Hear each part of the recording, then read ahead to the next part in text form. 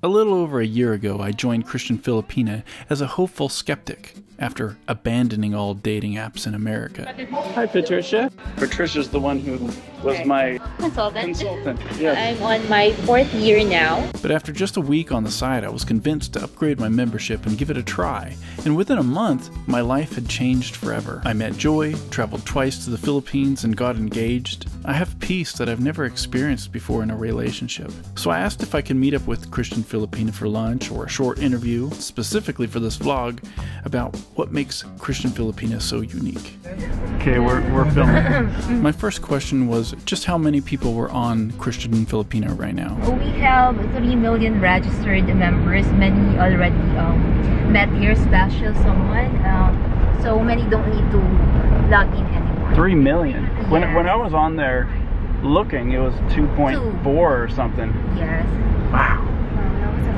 And so my next question was how many of these were men versus women? Because dating sites in America tend to be overwhelmed with a huge amount of men and very few women. what's interesting um, for men is that the numbers are the reverse of what they are accustomed to. In a typical situation, um, there's about two men for every one woman, and it's hard for men to be successful. Yeah. And here in our community, we have the opposite. There's about two women for each man. And that means the numbers are really in a guy's uh, favor because the women here in the Philippines know Christian Filipina and they trust Christian Filipina. They really um, take um, the process seriously, and this is one of the secrets to our success, but um, not the only one.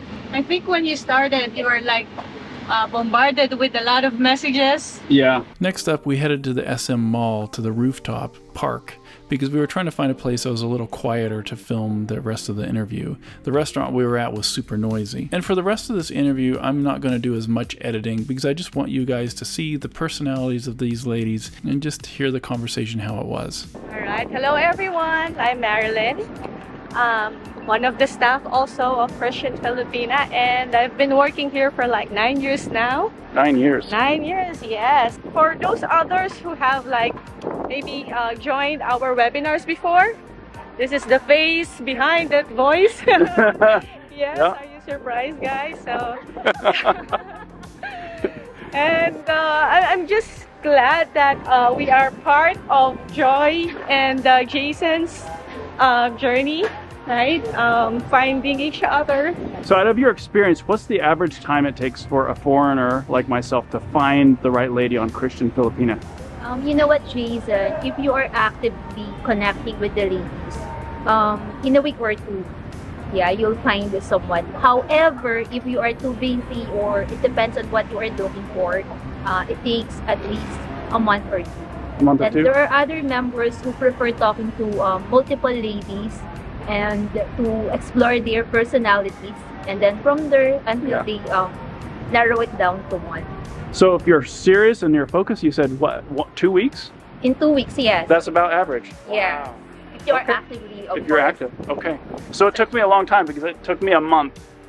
So you're you're on the second uh, second category. How does CF deal with spam accounts and spammers?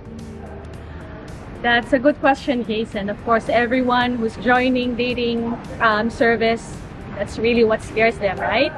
Uh, to be honest, there's no such thing as perfect. Uh, we have over 3 million members now, right? And we are transparent informing our members that we do not claim that 100% of our members are all honest. Imagine with thousands of new profiles, right? Um, it would be impossible to do all background screening for every single one. That's really challenging. We have our fraud team whose job is to catch those suspicious activities and uh, you know um, once proven that they have violated our terms of uh, terms and service, we suspend them. That's our way to let the members know, uh, uh, give this kind of warning. Stop Yeah. chatting with this lady, right? And not only that, uh, we have our romance consultants over open 24/7. So we help our members every time you need um, help. Of course, we also encourage our members to report suspicious profile. You know, uh, we listen, and to be fair, we do further monitoring first and take actions when needed. Yeah. It really was helpful for them to be able to look into some girls' accounts. And they would actually look into the accounts and go, oh, yeah, well, they're talking to multiple guys the same way, even though they're telling you that you're the only one they're talking to. So it was really great for just being able to weed out the, the girls that were just, you know, lying.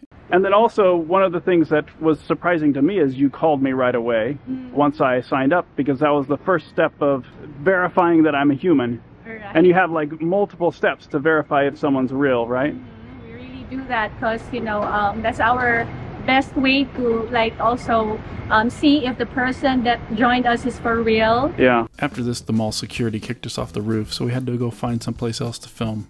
Why do you think? Why do you think Joy and I are a good couple? Are we a good couple? Yeah. well, you you will you you you you you the one you're the one who can answer that. Yeah. but for me, um, since you started in Christian Filipina and you connected there, knowing that all of the members are being um, screened and checked, so we're sure that um, your intentions intentions are pure. So I can say that you're perfect for each other. You know what? The reason Joy and I both felt like we were good for each other mm-hmm. is we both felt like we had peace with the relationship.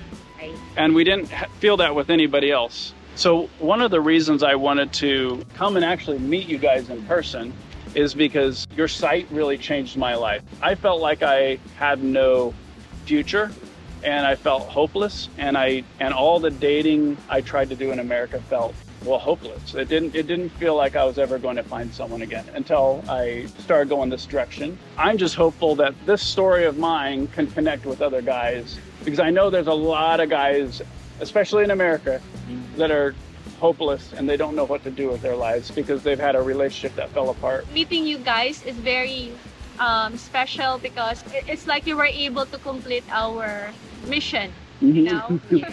to help our members to find their uh, their their lifetime partner mm-hmm. yeah. and it's really fulfilling because it's not only that we were able to make you say yes to our membership mm-hmm. but it's more job fulfilling that you know we're able to make uh, two people's dream to be uh, possible when they first mentioned this collaboration with you i watched your first video I actually got teary-eyed that I was part of this. Uh, I was part of their journey, and I was one of the people who uh, helped them connect. So I was really teary-eyed when I first saw your video. So this is Jason. thank you, Patricia. I just want to thank Patricia and Marilyn for spending some time with us. And if you guys are interested in this service, I recommend signing up and checking out the profiles for a couple days to see if you find anyone you would want to talk to. And if you feel good about it and want to take the plunge, and if you're actually really serious, then I recommend buying a package that feels right to you. And then definitely watch my series on traveling to the Philippines to meet Joy for the first time in Manila.